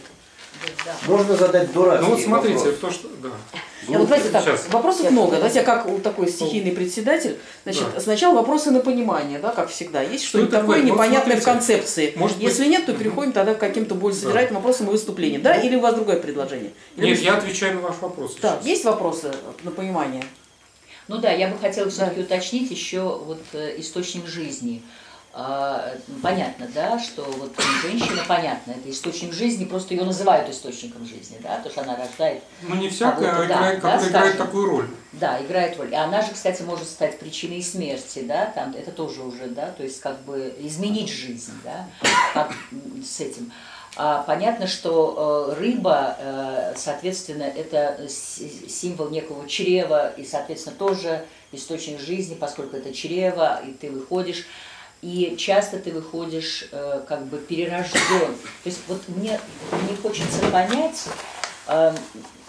здесь вот эм, момент вот этого Э, момент жизни-смерти, вот меня интересует в этот момент, да, что, что и как здесь происходит, потому что для того, чтобы встретить двойника, мою любимую тему, на самом деле, вот до этого, как дойти, э, э, условно, герой, которого мы видим, должен через что-то пройти, да, чтобы измениться.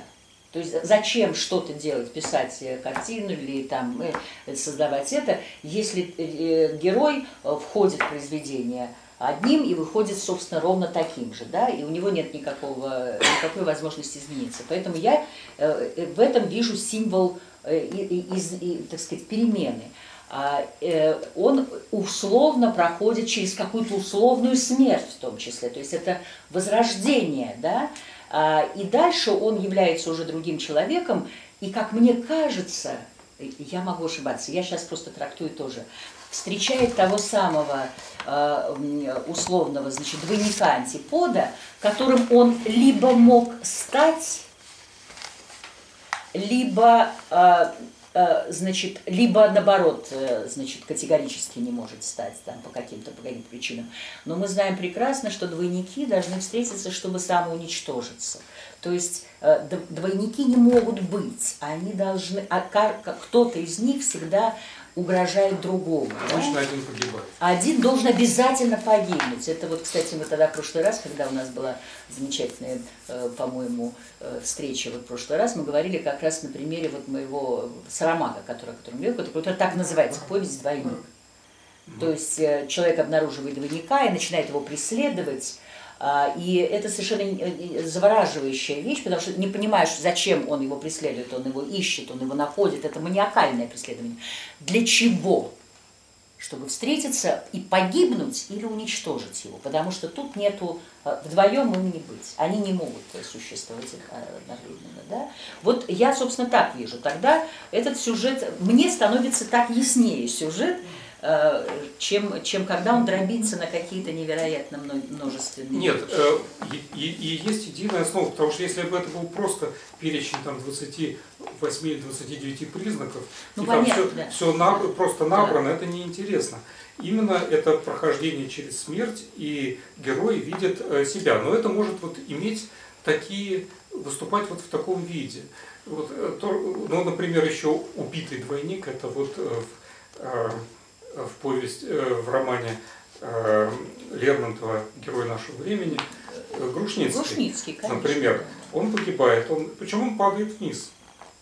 Это важно, потому что это страх высоты, и Печорин сначала заглядывает туда, в пропасти, видит там острые камни, и на самом деле страх высоты в повести, в романе, он с самого начала еще, когда в горах появляется там, журнал Печорин, он едет, он чувствует, там пишет, что страшно. Вот.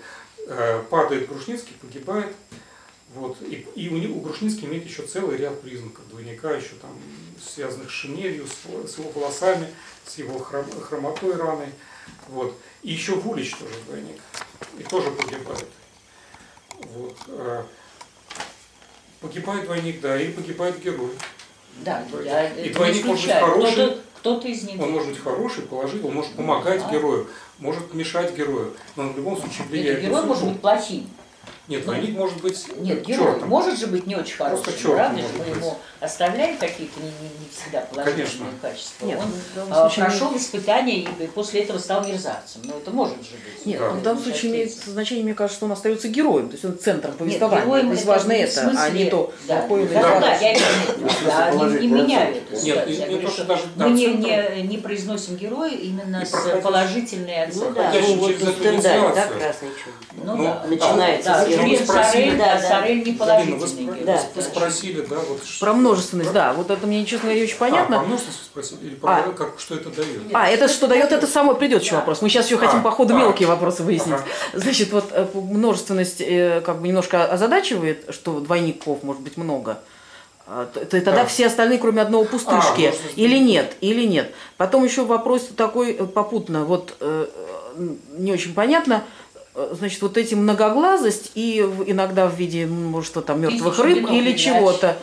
Да, да. Я имею в виду, в данном случае функция, э, это относится к стихии, к источнику жизни, это со, ну, как бы, спутники источника жизни, или это спутники двойника? Я вот это не совсем поняла. А, я, это э, возникает после, обычно после появления двойника, вот так я бы сказал, э, либо это но стихия это или двойник, тут не очень понятно. То есть это как бы слито.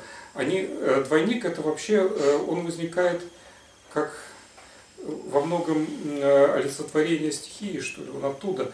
И поэтому так это может... или порождение? Это же все-таки разные вещи. Нет? А?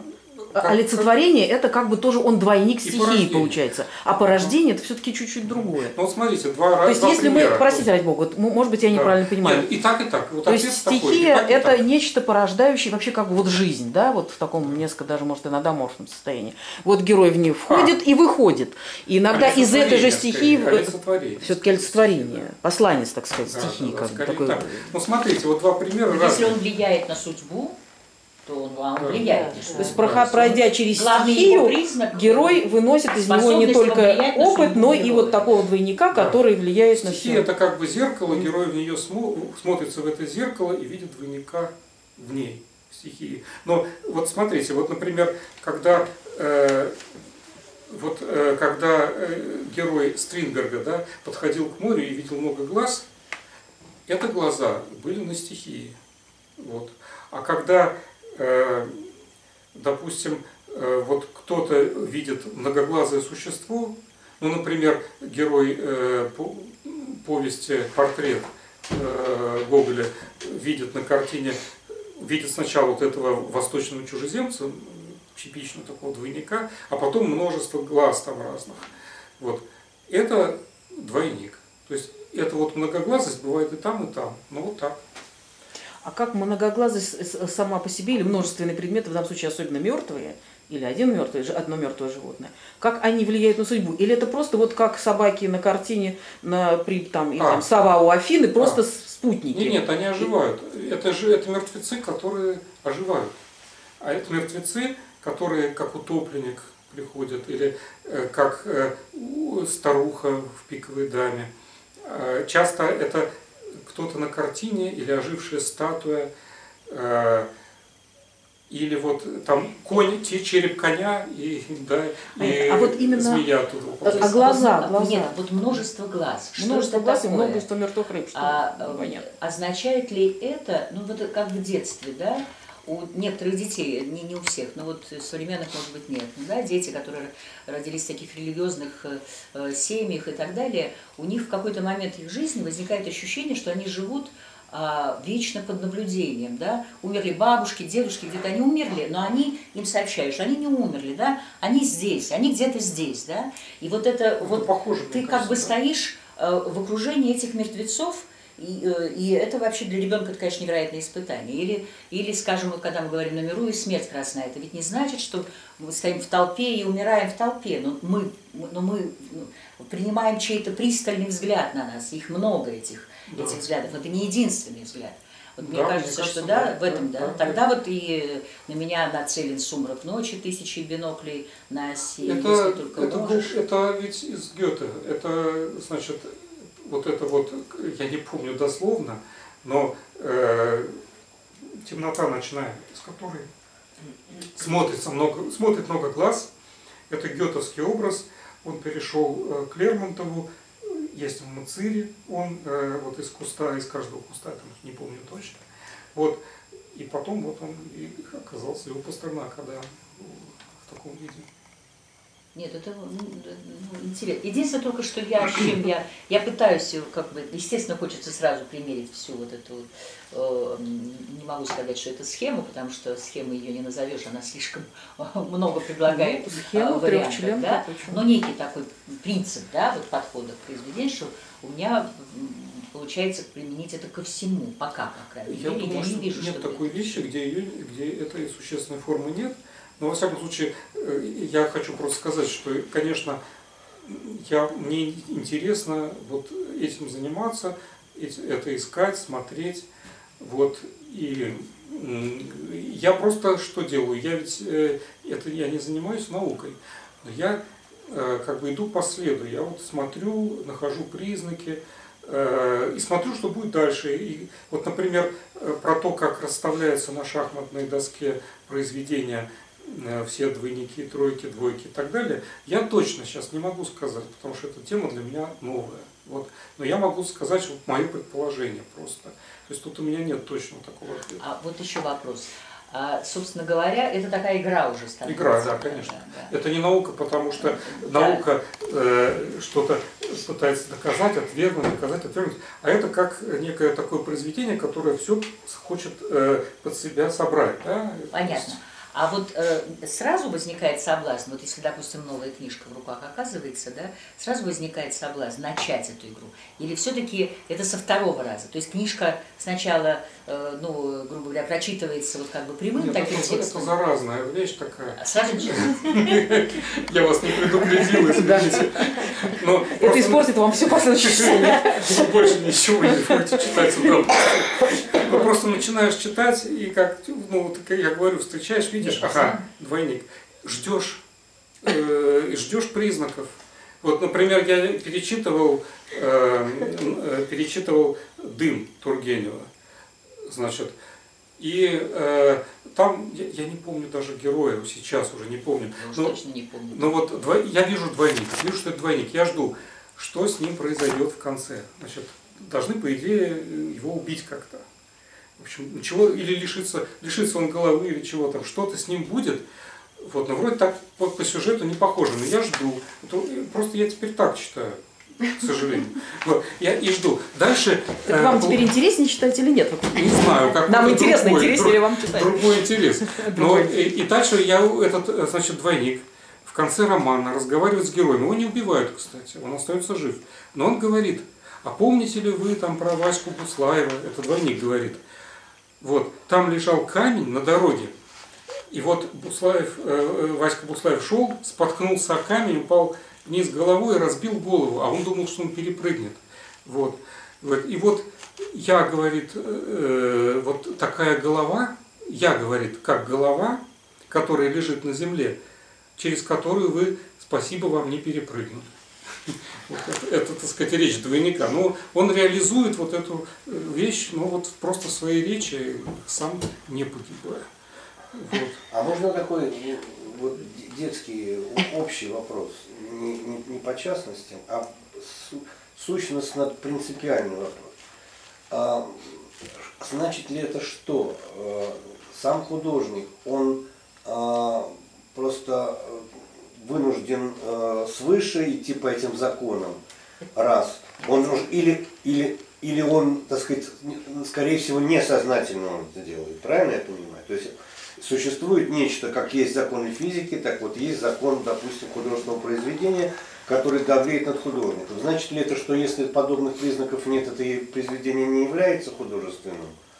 если а, нет, а. да? И, ага. и, и да, да. примыкающий к этому вопросу, только в художественных или вообще в любых текстах? Любых. Э, то есть, грубо говоря, Научных я так понимаю, нет, нет, нет, в любых, не любых будь то драматургия, проза, да, поэзия, ну, художественный. фикшн, да, ну, фикшн или нон-фикшн. Ну, видишь, даже фикшн. А, нет, ну, фикшн, прошу нет. прощения, а музыка? Ничего не могу сказать. Полный ну, профан. Полный профан. А можно Нет, сказать, ну, что есть... Знаете, что я, я не смогу ничего изречь. Мне кажется, есть какой-то... По стихам делаю, да. Могу я дерзнуть сделать предположение, что есть какой-то прототекст, то есть первоначальный текст ну, то есть, я не знаю, кем-то когда-то созданный, да? Ну, то есть, мы сейчас зайдем далеко, я, конечно, такую ерунду Нет, начну пару. Это подтверждает просто божественную Который потом как калька начинает вот как бы просить, и ты волей-неволей, художник, конечно же, мне кажется, что специально художник не делает этого, да? То есть, он живет по неким законам, которые ему да, потом уже... не все знают уже... это и не... Да нет, и знать этого не нет, надо. Это знать не да, надо. Это не надо знать, ты уже знаешь. У тебя уже есть это знание, оно не должно я быть, говорю, он не конструирует. Все, ты нам уже ничего не написал, теперь мы происхождение, ну, творчество, нет, и, более, значит, управляет, управляет любым творцом Господь. Друзья, давайте не будем и он, и он таким образом, значит, да, я просто, ага, и я последний каверзный вопрос. А, а не может ли быть это некой такой идеей фикс, да, то есть в каком плане? Любую конструкцию, в которую мы верим, как правило, мы под нее можем подстроить всю э, человеческую жизнь. Мы да. можем доказать э, ее в каждом примере. Мы можем найти да. э, то, что нам да. Э, хочется да, в любом да. проявлении. Ну, Конечно. Может быть, это э, такая э, шутка судьбы. Можно да. я отвечу секунд, немножко, да. я промежуточно. Саш, тут есть один момент, который, собственно говоря, и есть чтение. Что такое книга? А вот, вот ты, у тебя и у меня две разные книги, хотя кни, на ней одно название. Понимаешь, да, о чем идет речь? То есть каждый из нас будет читать другую книгу. Восприятие. А, воли, дело не в восприятии, а множественности, э, да. э, э, из, из чего ты состоишь, из знаний, из личных ощущений, из сенситивности, из характера, из реакции на какую бы то ни было э, вещь.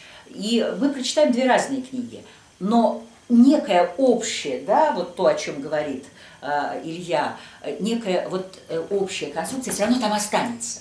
Она будет, она так или иначе будет. Это не будет рассказ. Я согласен. Мало того, я даже считаю, что мы почитаем разные книги, но скорее все-таки не противоположные. Нет, это уже Они могут быть почти противоположные. Давайте дадим слово автору. Да. Нет, а мы же, извините, у нас Илья предложил нам разговор. Нет, конечно. А не просто... Да. Нет, я просто хочу понять, как, может ли это быть просто ошибкой? Ну да, ну мы вопрос Вот вы сейчас да. ищете, да. а кто ищет, тот обрящет. Да. То есть вы да. находите да. неминуемо, да. потому что вы заболели этим, и теперь вы обречены да. найти это везде. Да, да. Как, как, как это проверить? Сейчас я попробую. Значит, ну, я думаю, что и мы заболели. Есть ra- раз, разные вещи. Во-первых, я хочу сказать про источник жизни – что это некий такой большой X на самом деле. То есть я сказал, что это вот э, прекрасная дама, зверь и стихия, но я же не сказал, э, как это составлено и в чем там суть. Э, это X. И как герой проводится автором через это, это дело автора, и это большая тайна, и мы этого не знаем. Я просто указал, что это вот есть такое. Вот как, то есть, и поэтому знание вот э, этой существенной формы и так далее не дает возможности делать э, суждение качественное это, о произведении. Хорошо это соблюдает существенную форму, нехорошо. То есть я не могу, э, нет у меня э, способа сказать, э, что хорошо, что плохо, значит, э, научного, да, и слава Богу. То есть это не трогает на самом деле источник жизни, он остается. Это, это вот был такой вопрос, и я на него ответил, mm-hmm. мне кажется. Значит, потом сознательность э, автором, насколько автор это все сознает. Тут разные вещи. Вот вообще я думаю, что это не, не важно, сознает он или не сознает, это просто у него будет. Потому что как-то вот ну, я не вижу, не вижу, чтобы это кто-то обходил. Это как-то вот общее, мне так кажется. Но э, кто-то просто э, что-то знает из мифологии, да, и специально это делает. И когда э, Пастернак говорит о рябине, и она там кормит зверей, и потом там женщина в этой рябине, конечно, он все это знает, это мифологию он знает и, и делает это совершенно сознательно. Когда Набоков что-то играет с двойниками, он очень много делает сознательно. Есть просто такие авторы – вот, или там Томас Ман очень много делает, а кто-то кто совершенно бессознательно и вот. Ну да, не... есть малообразованные авторы. Не, ну и не обязательно. Я не знаю, что вот сознавал Пушкин или не сознавал, когда. Нет, опять же, Пушкин это трудно классическое сказать. образование. Мы не знаем. Классическое образование. Да нет, мы это не, знаем, зависит от образования. Мы не знаем, это, Я говорю о знании, о знании, простите, о знании мифологии, о знании э, Нет, писания и так далее, и так далее, и так далее. Я говорю, вот э, человек э, там деревенчик, как от Сахи, у которого за, за спиной, я понимаю, что не важно, я, что он может быть художником, я понимаю, что это не важно, образование в данном случае. Я имею в виду, что э, он-то уж явно несознательно, если он следует этим законам, да, то он наверняка не сознает, потому что он не знает, да. Боже сохрани, да. ни, ни мифологии, ни того, ни того, да. там церковно-приходская школа, допустим, да. да. И, я говорю, и как вариант, э, может ли это быть в таком случае неким, извините, что за провокационный вопрос, инструментом. Коль скоро здесь э, этого не присутствует, то сие не есть художественное произведение. Нет, ну мне кажется, да, вообще, везде. вообще везде присутствует, но это никак не влияет на качество, мне кажется. Я опять же говорю, что, угу. может быть, раз не присутствует, можно сказать, что-то это, наверное, не художественное произведение. Речь о том, я что это присутствует везде, такова Нет, идея а, нельзя, а, Я как человек, который все-таки ну, что-то тоже немножко соображаю, говорить это присутствует везде некорректно, потому что никто из нас всего не читал. Нет, совершенно верно. Это и просто тут, априори тут, не может быть. Тут разговор о научности, понятно. то, что вы говорите, насколько, да. насколько это Это, так, естественно, не, не научно, это понятно. Это не научно, это миф. Это признак, по каким-то признакам вы создали вот такую... Конечно. Вот я не встретил это... в своей жизни еще книги, в которой это не было бы... Я, да, да, я, а это серьезно. Я уважаю, я, я понимаю, что я прочитал не две книги, это без, безусловно, я понимаю прекрасно. Просто это идет, видите, действительно, я, я шел просто по улице, да, и я как-то это на себе вот увидел. Это и был по... толчок. Конечно, и, э, и поэтому, э, поскольку я на себе это увидел, я вижу это в других вещах. И когда я говорю про страх, э, про боязнь высоты, э, я, это то, я вот написав эту книжку, я э, избавился от боязни высоты, которая у меня была. Вот. Потому что я начал смотреть, почему боязнь высоты, вот я начал смотреть разные случаи, связанные с двойником. Вот. И то есть это для меня ну, совершенно живое такое, мой живой мир, в котором я живу. Вот. Это, конечно, как я сказал, не наука, это некая вот форма или схема, которая не научна, так же, как, например, не научна э, схема э, Фрейда, Эдипов комплекс и так далее. Она не научна по той же простой причине, что она, это, за это ее, собственно, Карл Поппер и так далее упрекали, потому что подогнать можно все под нее. Но ее накладываешь, и она часто бывает удобна, и она сыграла свою роль в культуре. Вот. Потому что эта схема является таким мифом, который создал Фрейд, и который стал работать. И он что-то что-то осветил. И тут э, вот мне кажется, это такого типа вот вещь. Да. То есть она как бы это художественное создание, которое мое как бы художественное создание, которое действительно не, не является э, вот, не, не научно проверить все, а именно вот как в художественном создании хочется создании хочется все собрать связать вот разными ниточками, как в произведении. Вот. Что это дает? Ну вот я вам пример маленький привел, э, вот как бы разборка двух эпизодов «Зеркала». Видите, ну, как бы схема простая, но когда я посмотрел через нее, вот на эти два эпизода, мне что-то мне что-то прояснилось. Вот с этой богиней, с, с пожаром, с кустом, с, э, со стихией, которая начинает двигаться от куста, с двойником, который лежит так, и это есть и в другом фильме. То есть это некий ключ, который э, помогает что-то увидеть. Что-то еще считать. Ну, просто что такой... мимо. А теперь такой интимно-личностный вопрос. А вот ваше то видение, оно что-то для вас потом как-то вас изменило, что-то в вашей жизни э, да, произошло? Мне, мне было 20 лет, вот, и ну, я вообще не собирался писать книг, у меня не было такого. Я, вот, и э, я начал писать стихи, э, я начал думать и писать потихоньку вот это. Потому что это, эти книжки, ну, это и другие книжки, они вышли в 2014-2015 году сейчас. Писать я думать начал тогда, в 83-м, когда это произошло. Вот. А, и э, я начал заниматься языками как следует, потому что встреча с двойником многоглазым, и, так сказать, часто вот это связано именно с многоязычностью. Вот. И, то есть для меня э, вот это небольшой как бы эпизод был действительно, вот, как я сказал, судьбообразующим. То есть все, что я делаю, в результате я делаю вот после этого. Мне почему-то пришло на память, я не знаю, может совершенно некорректное сравнение, а в свое время э, Даниил Андреев, да, когда он первые начались, у него очень ранние видения, они, так сказать, выстроили потом всю его жизнь да, под это. То есть. Тоже похожая ситуация. Да. Может быть, не совсем похожая, но чем-то, да? Это, конечно, нет. Э, параллели к сумасшествию очень много. Нет, насчет сумасшествия и, и, Это, конечно, идея фикс, потому что ты ходишь, и вот, ну, на самом деле, вот когда этим занимаешься, ты думаешь об, об одном и том же, идешь, идешь э, годами. Э, и, ну, и что ты начинаешь видеть только тогда, потому что человек может сосредоточиться 5 минут, час и так далее. А это тебя как бы забирает, да? Более ну, того, есть... у меня папа был психиатром, поэтому могу сказать точно, что разницы э, между шизофреником и гениальным человеком грани найти невозможно. То есть, как правило, все гении, они, они конечно, шизофреники, естественно, да в той или иной да? степени. Ну, вообще, все люди искусства, они все чуть-чуть шизофреники. И э, совсем глубоко больные люди, да, этому Не обязательно творческие да, ну, Бернард Шоу говорил про зрение, говорит, что нормальное зрение, нормальное зрение, нормальное зрение – это редчайшая вещь. Норма, норма вообще понятие количества, да. к сожалению. Это определение. Еще вопросы? Нет, замечательно, очень интересно. Спасибо. Но ну, я тогда просто вот скажу, что вот это в этой книжке есть. Кстати говоря, там Ой, а есть... А может, у меня есть вопрос, я про себя забыл. Да. еще... Расшифруйте название все-таки «Тень от шпаги». Расшифруйте немножечко. А, сейчас скажу. Я хотел просто сказать еще, что там есть разбор. Я, мне было интересно посмотреть э, современное какое-то произведение. Я взял Водолазкина «Лавр». Вот, и я, и я его развинтил, развинтил, разобрал. Вот.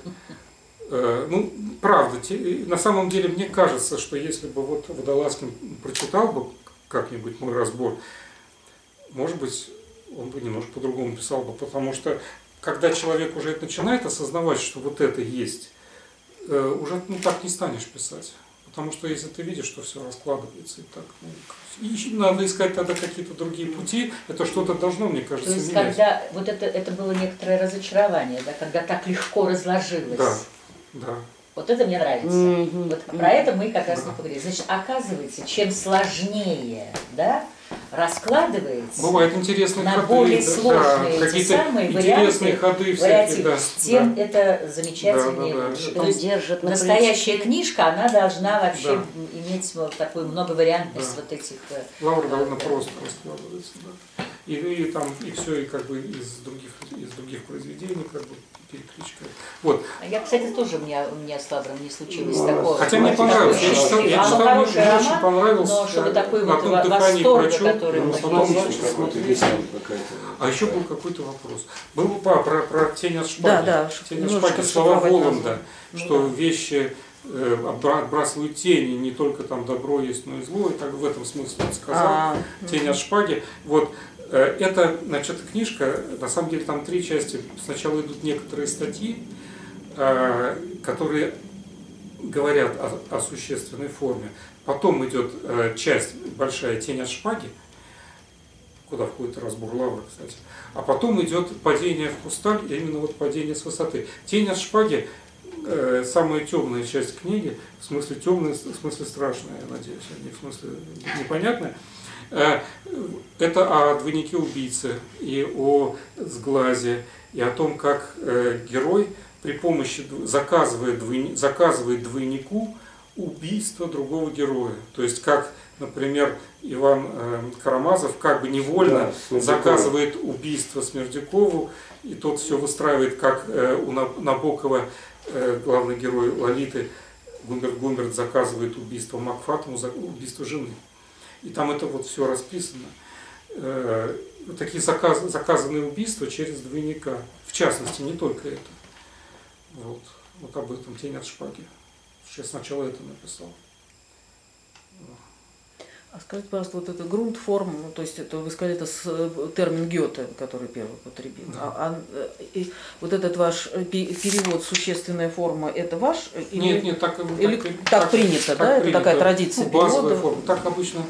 Я специально. что вот базовая форма я встречала, основная форма. А Да. существенная вот э, как-то впервые Я встретил, я использовал, я даже не помнил, что это грунтформ. Я потом посмотрел, да, ну, я подумал, что скорее всего это грунтформ, и посмотрел действительно грунтформ. А в каком сочинении Гёте это встречается, не помните? О морфологии растений, вот точно Ага. название не скажу, но о морфологии растений. э, Тогда это не может быть существенно, это же существенная все-таки есть какая-то оценка. Это основная форма. То есть давайте основная назовем- форма и вариация. Мне понравилась существенная форма. Нет. Нет, это немножко. У то, что имелось в виду у Гёте, я имею в виду, что Мне понравилось. совсем другое. больше, Просто, чем то есть это такой форма. уже далеко отошедший, как говорится, от Гёте. Нет, ну это, конечно, ну, это Гёте тут Да. на самом деле ни при чем. Мгм. Просто ну, красивое, вот мне кажется, сравнение с тем, что Гёте рассматривал листочки и видел там Общую про- структуру. общую структуру и, и чем-то это напоминает вот э, э, источник жизни двой- двойников по бокам вот в его рисунках. Мне это понравилось просто, ну это, это просто сравнение такое, просто красивая фраза. Спасибо. Здорово. Спасибо, вам большое. Спасибо.